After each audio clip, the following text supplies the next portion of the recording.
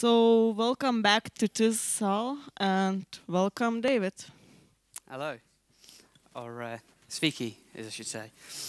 Um, this is usually an hour-long presentation because I have the audacity to put a bit of a practical in the middle.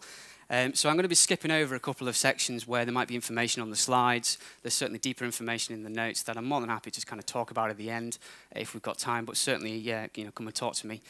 Uh, in the networking lunch uh, around the subjects like DSDM and such.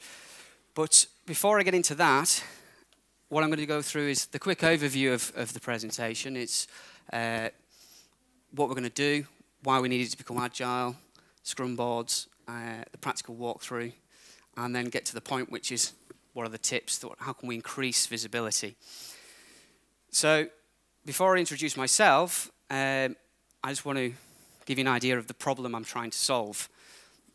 So the problem I'm trying to solve is uh, I work for a company called Callcredit. I'm David Weir, I'm the head of development. And Callcredit is a data company primarily, so I'm not going to talk too much about Callcredit. Uh, but the key things for this presentation is they're a data company with large volumes of data. A company with large volumes of data and large number of employees is you generally find that there's a large number of projects going on at any point in time, 20 plus in our scenario. We're split into three market sectors, credit, so credit reference agency, marketing, consumer. So again, we've got different drivers from different angles. When data is your asset, you generally find that all projects are interdependent on each other, which gives you a lot of uh, a need to understand what's going on in projects at any point in time uh, and what, what knock-on effects one project might have onto another. Equally, we, uh, we, we kind of service in some you know, large uh, industrial ins uh, institutions, so financial sectors, telecom sectors. So there's a, a, large demand for what we're doing, so we had to be flexible and quick at uh, delivering new products to the market, but again, managing this, this problem somehow of interdependency. Uh, and nice problems to have, all problems which have um, come about through increasing in size, increasing in revenue. So we kind of realized this around about two years ago because about uh, 2000 was when Callcredit actually um, was, was born. Um, and since then, it's kind of grown not only in size, number of people, it's grown through acquisition, it's got, grown organically. Uh, we've actually uh, acquired eight sub-companies over the last 12 years, which is quite a lot. Um, and that brings with it different dynamics in terms of different teams, different um, you know, kind of ways of working. Um, but fundamentally, it made us recognize that we needed to actually change things and actually align a proper operating model. So we realigned our HRI legal and, and, and facilities, and we thought at the same time we're going to introduce Agile. Um, we chose DSDM, which again um, is a three-day course. Um, it's, it's very similar to Scrum. Um, however, it's a little bit more business friendly. And the reason uh, we chose that was the business-friendly terms that are used in Scrum, uh, in, in, DSDM as opposed to Scrum, is it tries to operate at a level where um, the terminology that is being used is friendly to the business. So it gives you deadlines. So it's focusing on delivering to a date where you drop scope if necessary and you don't uh, compromise on quality. These are business-friendly terms as opposed to something like Scrum when you're trying to sell it to the business where you know, we're not sure exactly when it's going to be delivered, but you can change your mind whenever you want. And when you're trying to embed a whole framework, it, uh, it, can, it can be the difference between embedding it properly um, or, or, having something from the technical uh, departments pushing the, the framework across. So that's enough talking about that. Um, DSDM and any kind of agile approach is uh, as, as, as, wide as it is long in terms of the different techniques you can use to, to bed it in correctly. And today I just want to focus on scrum boards or whiteboards because this is the clear thing that we are wanting to get from a, uh, an enterprise point of view as a selling this thing back to the business. The, the big thing about whiteboards, whether you're using Scrum, XP, whether you're using Crystal, um, there's always some concept of a focal point for the team where they can come together, collaborate, talk about um, how the velocity is going. You can measure the velocity through, through things like burn downs. Um, we can focus making sure they're working on the right things, what's blocked, times left, that kind of thing. It's great for the team. The project teams are fantastic for understanding what it is they need to be delivering and delivering features uh, rather than delivering some kind of long-winded architecture. But the thing that's often overlooked, um, far too often, especially when we're talking about these things from the business point of view, is these scrum boards are a kind of shop window. So when you look at a scrum board, you should be able to see, you know, kind of how, how well that project's doing without having to have gone on these extensive three-day DSDM courses, without having to have full understanding of, of what Agile is. You want to actually understand, well, how's that project looking? Are they working on the things that are important to me? Are there issues that are concerning that project that I can potentially help with? Uh, so it's thinking about projects and Scrum boards and, uh, and Kanban boards beyond just meeting the needs of the, uh, the actual project team it's there for. So we can all agree that project boards, Scrum boards are great, um, but provided we stick to a couple of different rules, then we can make them even better for the program or better for the enterprise. So here's a couple of examples of Scrum boards that I just took off the inter internet. Um, looks like a pretty good one. A bit messy. This is a bit more clinical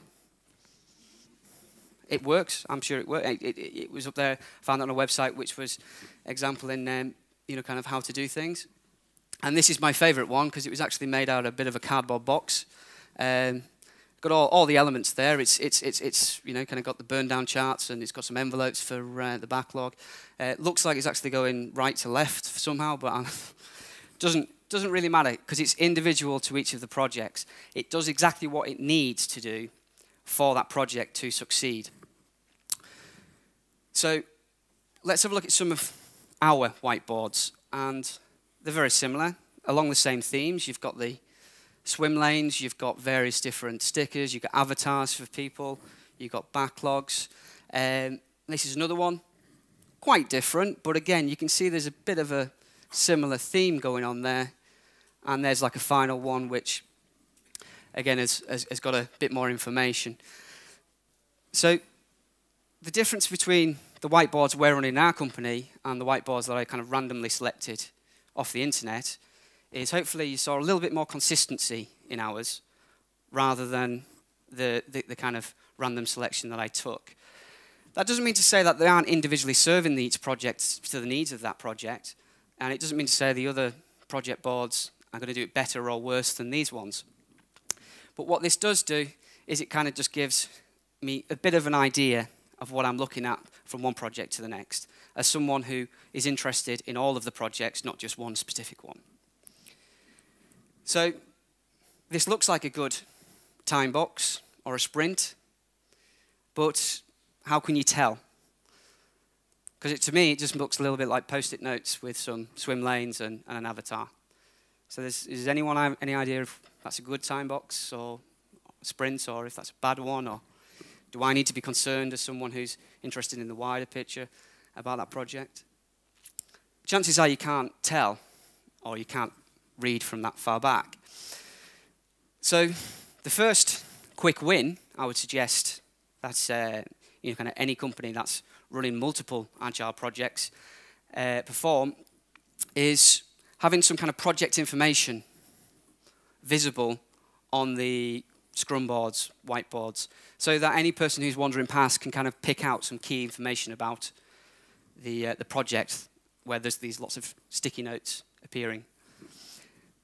Uh, there's lots of optional things you can put on there, like rag status, current iteration you're in, or time box. If you're feeling really brave, you can put the due date. Um, leave that one up to you. But the, the most important thing, aside from the name of the project, I would say is the timebox start date and the timebox end date. And here's a here's a, uh, a scrum board again. And again, we can't really tell if that's a good time box or a bad time box. Um, but if we bring that into play, suddenly things are starting to make a bit more sense. So this is, uh, if we just pretend the date at the moment is the 1st of September, then we know the time box doesn't finish until the 11th of September. So that looks like we've got an awful lot of time to actually finish these tasks that are in the backlog.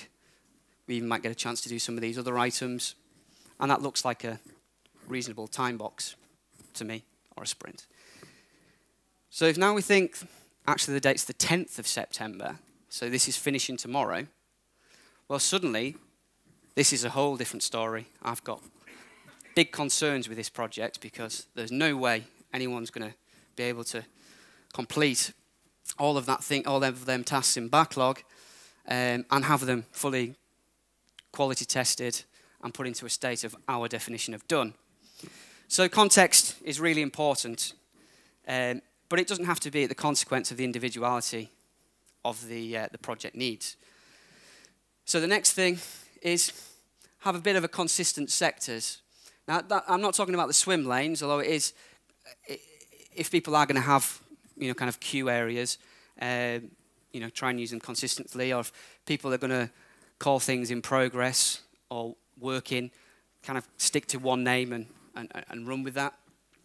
But what we like to do is we try to actually differentiate stories from the tasks. And we do that two ways. We do it by putting stories in the higher half of the, uh, the whiteboard and the tasks in the lower half. And we also do it by color coding. So a story, which is a presentation of what a story is in its own right, so I won't delve into that too much, um, as opposed to a task, which is something usually that a, a story is broken into, uh, something that more technical people are interested in.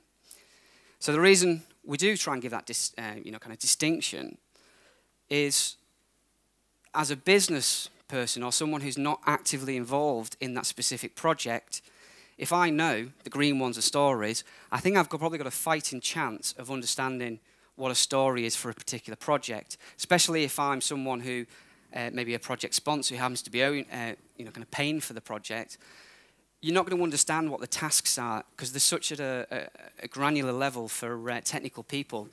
But you probably are interested in the stories. And if you see all of your stories as a business person who happens to be walking past um, the project boards or, or, have been given a demonstration, and you see all of your stories in the dropped category, or you see all of your stories are backloaded in the uh, prioritization list, then suddenly you can have something to say about that. If you don't understand and the whole thing just looks like a, a jargon of mess, and uh, you can't really tell one post-it note from another because, well, it looks like some of the whiteboards that we found off the internet, then it kind of, it kind of becomes hard to actually get that real collaboration with the business and get them to buy in to what you're doing. Otherwise, it just feels like they're constantly losing out, or they have no idea where they're up to. Um, with Waterfall, at least they felt they knew what they were, think they were going to get at the beginning, even though they'd probably be shocked and surprised at the end. Um, with Agile, we often find, you know, they don't really understand where they're where you know, where their particular feature that they're interested in is up to at any point in time. And then we have two other consistent uh, post-it notes that we try and insist all whiteboards follow. Uh, one's a blocker, and another is an issue. Uh, we try and distinguish between the two, blocker being something that a project is asking for help um, because they can't resolve it within their own project team. So by having that as a distinct colour, different from an issue, whereas we define an issue as something which it's gone wrong, but it's something the project is coping with. They understand why it's gone wrong, and it might have delayed the project somewhat. It might be associated specifically with a task or a story, but it's not really something that anyone external to the project can really help with or unblock. Um, so it's more there as a for your information. Whereas a blocker, that's crying out for some kind of help. It's, it's kind of the, if we don't resolve this particular blocker, our project is in serious danger of failing in some way. That might be because you have an infrastructure issue. It might be because um, you, you haven't got enough people working on the project. These aren't things that typically a project manager can resolve on their own. They would have to go external to um, heads of departments or other projects to kind of resolve these situations.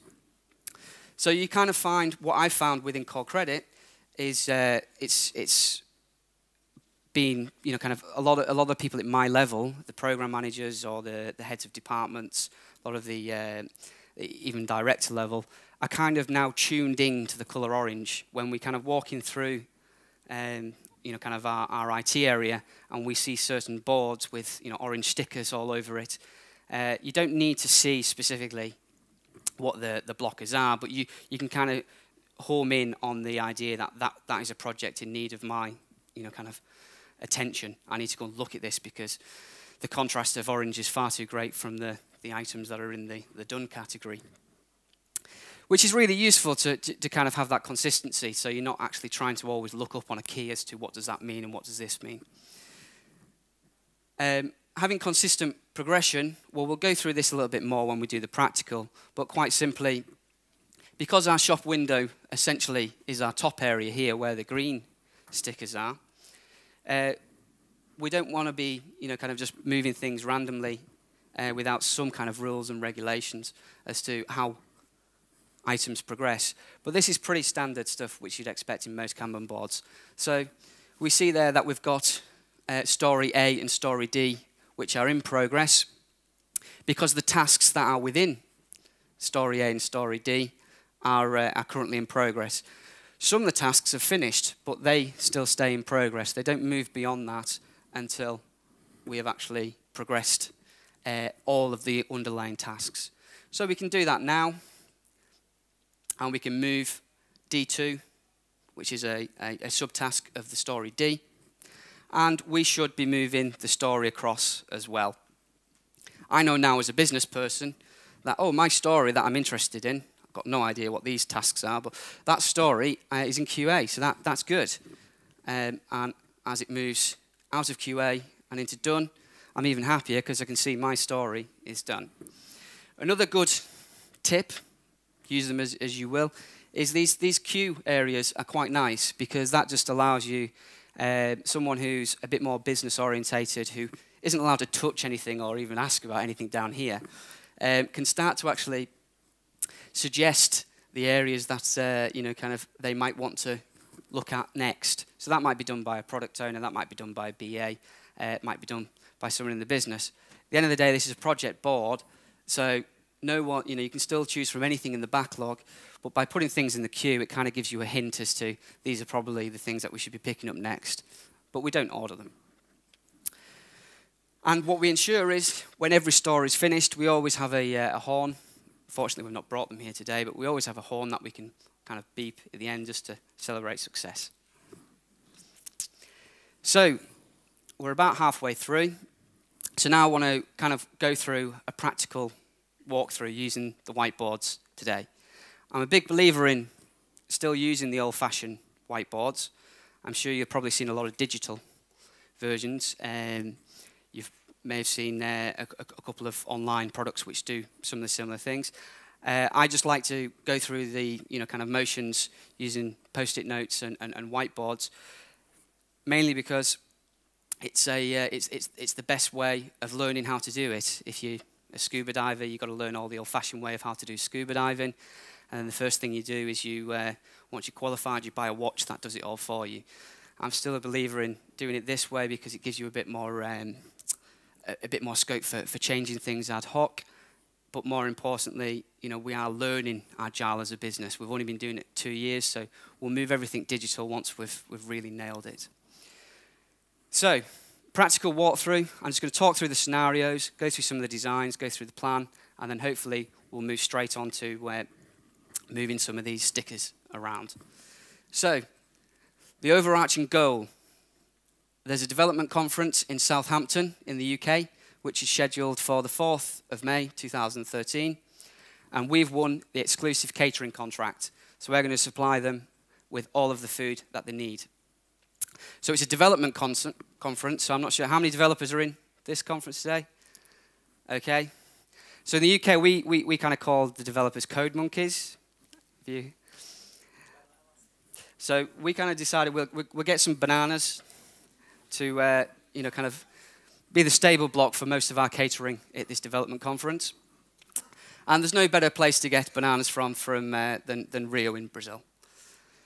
Uh, another goal or ambition from a business point of view of what we want to do is we want to go via France. Uh, the reason we want to go via France is we can pay an import duty from Brazil to France, which is far less than it would be going directly to the UK. And because of the European Union and the free market, we can import directly from, from France.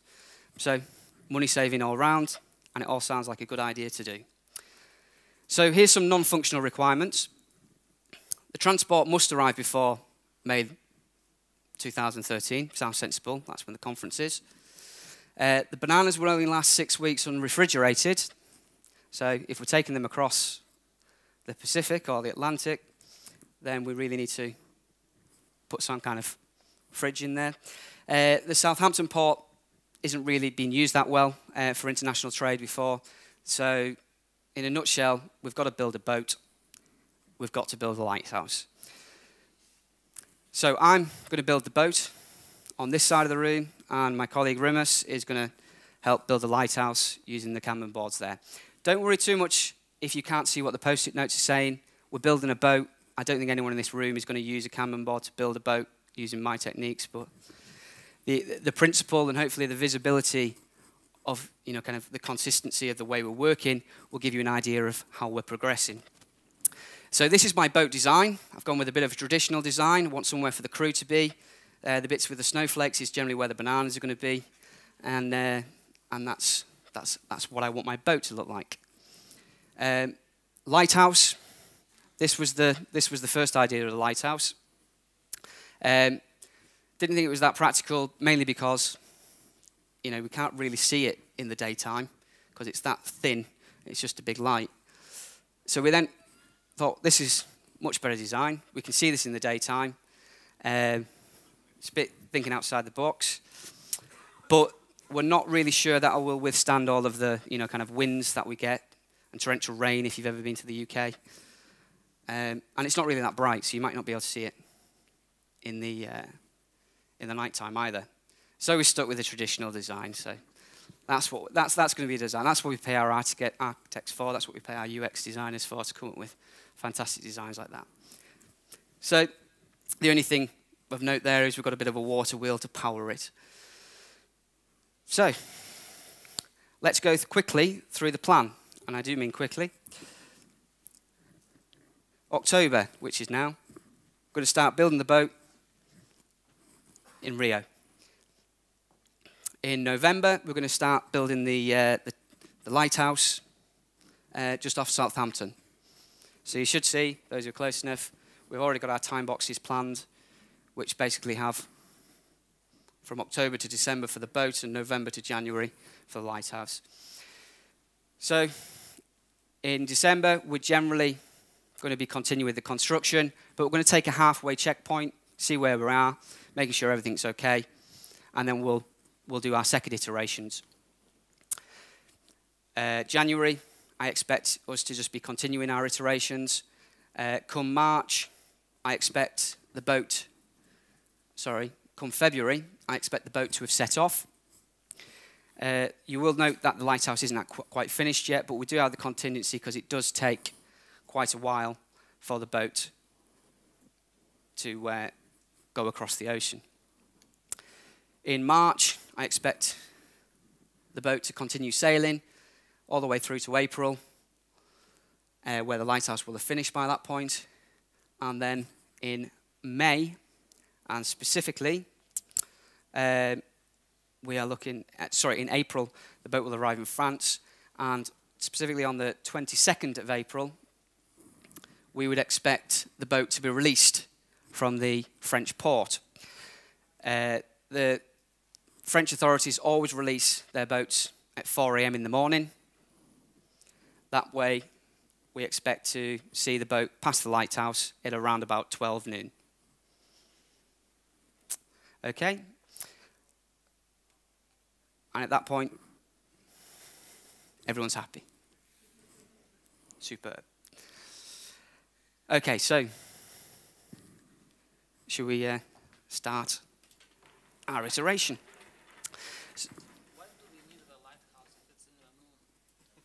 Because there's still rocks.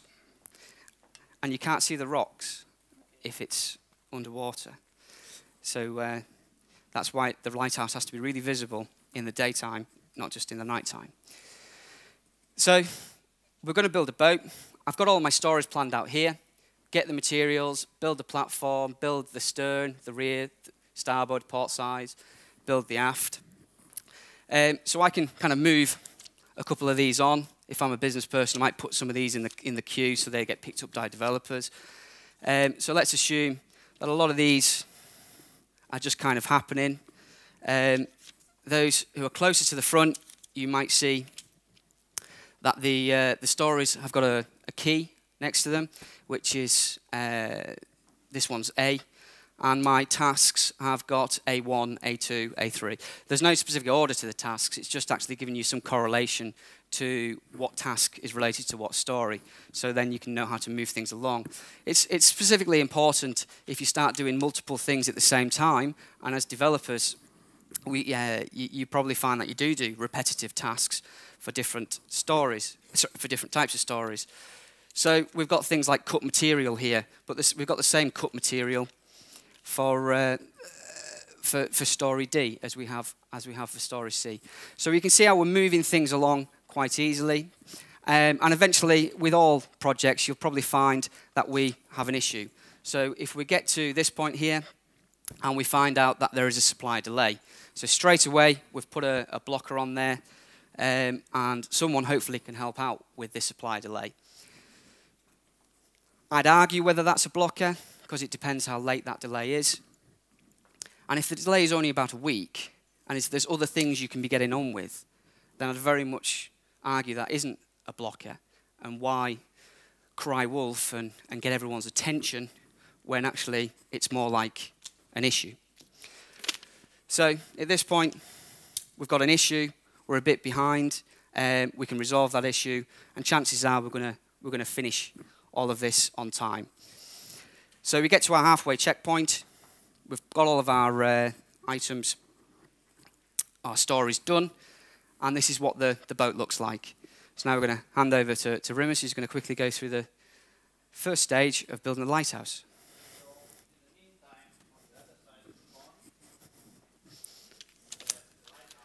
So basically, uh, I will not kind of just go in very detail how it goes, but uh, more or less I'll just move the user stories so you can see that some of the stuff is progressing. So uh, uh, the the project itself is uh, more sequential. So basically, it means that you just need to go through the story uh, A, B, C, D in in order because it's just a building. So basically, we just go with the stories for deciding the location, uh, getting the stone. Also, we can just say that the whole of the tasks are moving along as as well.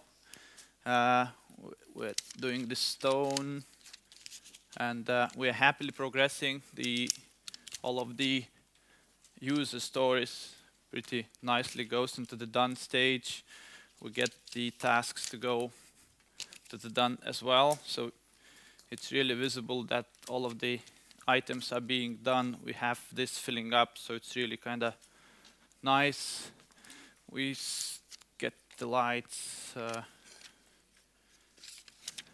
it's moving on, progressing. It's uh, some of the stuff. Uh, then we start with the building of the foundations. Uh, it just starts in the progress, uh, and we hit the snag, as always. So basically, when the architects were looking uh, at the sizes of the foundation, it was the tide, and they kind of mismeasured. So basically, it seems that we don't have enough stones to get it sorted out. Uh, we hit as a issue. The issue can be solved by the team. The architects decide that we can use the stone. So basically, what happens is uh, we get the new story. Uh, the new story appears to get more stone. Uh, and of course, it gets uh, another task to order the bricks. Uh, and because we have a fixed amount of time, something has to be dropped from the scope. we decide that it's okay, we'll just go with the bricks. and uh, we'll manage in time anyway. So uh, we we do get some scope left, but the other stuff just keeps moving on, like building the structure halfway. But we just say we'll keep additional stuff for the next iteration. Fantastic. So, just want to move the whiteboard slightly out of the way. So, we're at the halfway checkpoint. Lighthouse slightly far behind because they had a bit of an issue, but they dropped a bit of scope, which meant they only built it to 15 meters as opposed to 30 meters. That's kind of where we hope to be. The boat is on track. So we'll just go through the next phase of the uh, iteration, the final iteration. So that would be where we, we essentially are looking at January to May. So I'd update the, the, the project information. And we're just progressing with the, the, the, same kind of stories again. So we've, we've kind of built a lot of the structure. As you can see, we've built the sides, the various sides, and we've built the, um, some of the, where the crew area is going to be. So the next, the next things we want to want to look at doing is, is building the, uh, the poop deck. So we've got some tasks there which we're, we're getting on with, um, and some crew quarters, and we're quite happily progressing with that, and, and you'd expect as everything to go through QA at some point. So this is, this is again, we're progressing as a project. Someone coming in is, is, is looking how they can help, and this looks like a, a nice project uh, flow. But again, invariably, we always hit issues, and as we started to finish off a lot of these different elements and things were looking like we were really on track to finish, we hit a snag when building the sails. So the, snails, the sails engineer is sick. Uh, it's, a, it's a very uh, specialist contractor who is unable to, uh, we're unable to just exchange and change uh, a contractor uh, so quickly. So we really need to think a lot better at how we can actually get around this problem. I don't want to turn this into a blocker yet. I don't want to start asking for help beyond my project, but I, am sure I can resolve this. So I think the best way of resolving this is to introduce, again, another story, just the same as what Rimas did, and that's look for a better propulsion mechanism than sails. So is there anyone who can come up with a, you know, a better way of uh, you know, propulsing a boat rather than using the old sails? Rowing? Motor? Motor. I like that idea.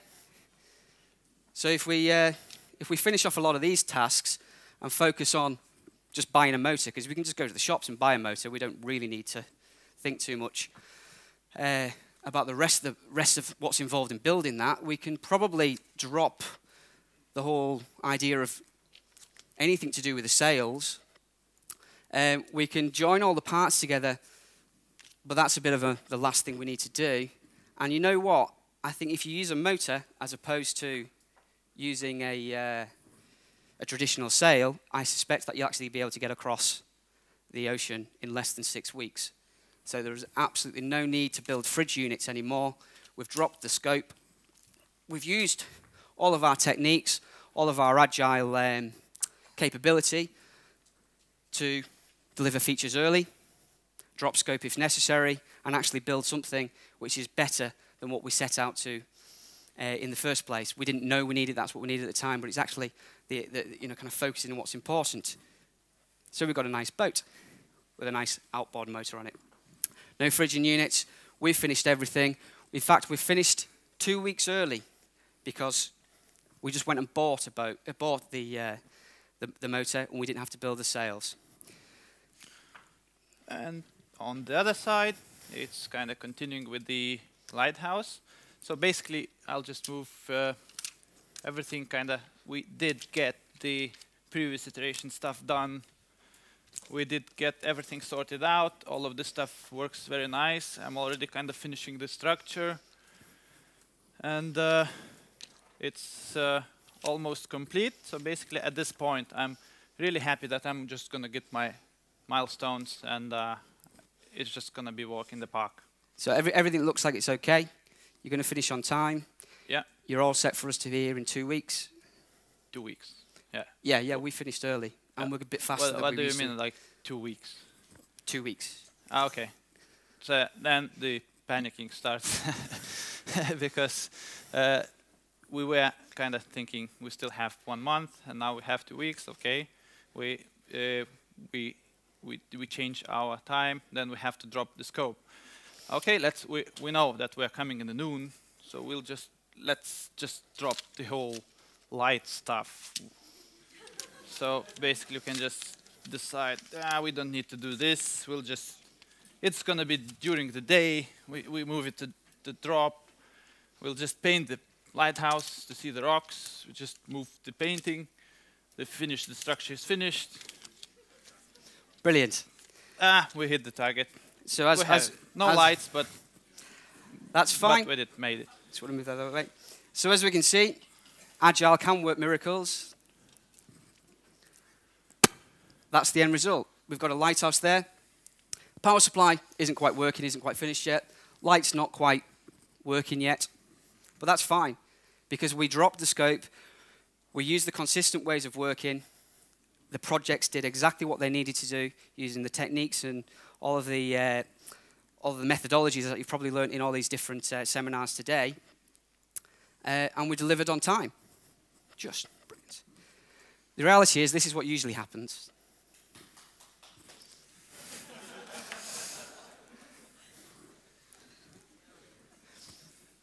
yeah. so what happened? Okay, so the boat was twice as fast as we expected it to be. That was brilliant. You know, it was a stroke of genius. Uh, who, who'd have known the business wanted it to be twice as fast, but you know they're not going to turn that down. The lighthouse was a little bit delayed, not serious delayed, but it, you know there was, there was a few things that they didn't get done in the first iteration. So the boat wasn't finished; it was released early. Um, we didn't factor in the daylight saving hours, so we've got an hour that we've automatically lost. Um, you know, lots of other reasons. When it was crossing the channel, it was kind of 4 a.m. in the morning, as it was expected at noon, because it was coming across that fast. Um, so generally, what are we talking about? Because we're talking, you know, analogies here. We're not talking about specific software development. Generally, each project did exactly what it should have done. It op- operated exactly within agile um, frameworks, exactly how it, it should. You could even make analogies to continuous deployment and continuous integration in there. Um, and everything was tested, and everything was, you know, kind of, you know, scope was, features were delivered beyond expectations. But fundamentally, they were just doing right by themselves and kind of wrong by the program, wrong by the enterprise. Fundamentally, each project wasn't concerned or visible to one another despite the joint goals. No one was really looking. So, how can you get around that? Well, you've probably heard of things called Scrum of Scrums. We call it a program Scrum. Um, if you're just operating within your own project, you might wonder what all of those people are doing. Um, you know, kind of talking about everyone's project as if uh, they're on a need-to-know basis. They're not. Uh, we hold a 9:45 a.m. daily huddle, which contains every single project manager. So we've got all 20 of them round the board. We've got all the heads of departments, all the infrastructure, well, all the main infrastructure guys. And quite often we get a lot of the executives there as well. And we are there to try unblock issues and react to significant changes. Dates being a significant change, blockers, serious delays being a significant change, architecture decisions to not put a light on a lighthouse.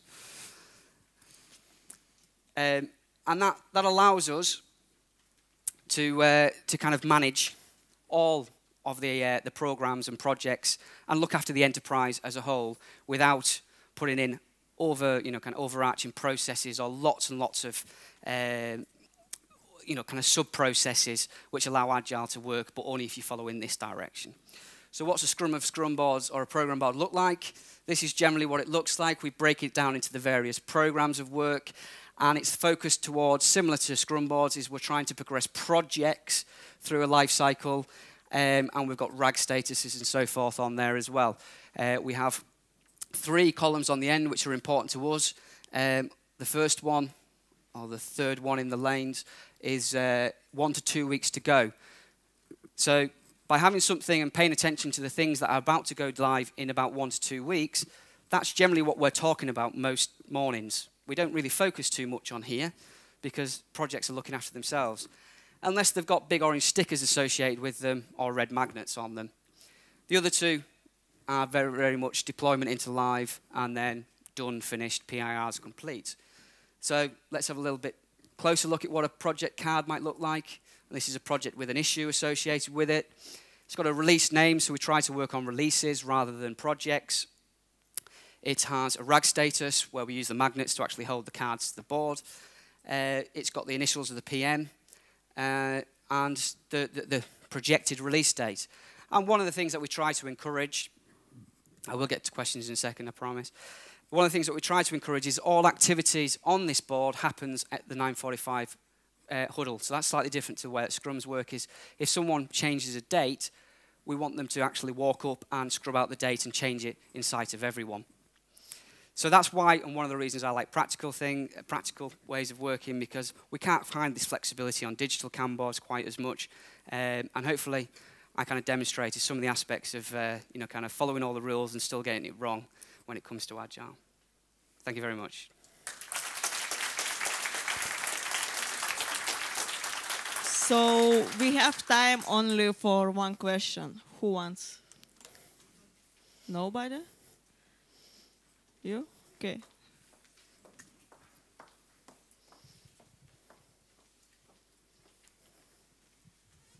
So you were saying you were saying that um, you prefer physical whiteboards instead of digital, right? Yes. But you were also saying that you have teams located in various different locations. So how do teams in different locations work with physical whiteboard, which I assume we have only one instance of it? Um, yeah, that's a good question. So we've got two ways of getting around that. The first one is it was a rather crude um, way of, of, counteracting the problem where we have someone take a high resolution picture of every single whiteboard every evening and it gets posted on our SharePoint site. Uh, that works surprisingly well because you can zoom in and actually read the details of the task. The second thing is we do actually entertain the idea of digital Kanban boards. We are looking at introducing TFS 2012, and we do use things like Trello. The difference is we, we exclusively use them for tasks. They are not an alternative to a physical Kanban board. This is still a shop window. A digital Kanban board will quickly become an Excel spreadsheet hidden on someone's computer, which no one looks at, and only the project team is interested in. So that's why I'm a big fan of the physical things, because low tech, they're as interactive or as cluttered as you want them to be, but I'd never want to see the green stickers, the orange stickers, and the yellow stickers disappear from this kind of Kanban board. Whereas I'd quite happily see the, the pink tasks move into a digital uh, Kanban board approach. Uh, the additional stuff is that you can always kind of, if you have quickly to append something, you can just write on it. Just you'll put the task later on, so it's while it's going. So you like kaboom, so it's really visible. You cannot do that on the digital one. So.